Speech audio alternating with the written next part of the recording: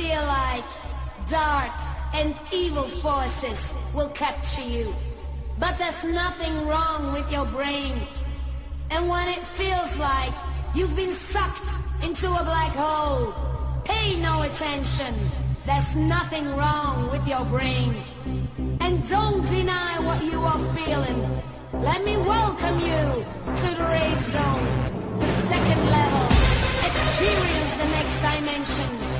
And there's nothing wrong with your brain. Let these newly discovered emotions overwhelm you. Feel the urge to inhale the speed of light. There's nothing wrong with your brain. And before you know it, you'll transform into a jumper. You'll become a jumper. Still, there's nothing wrong with your brain.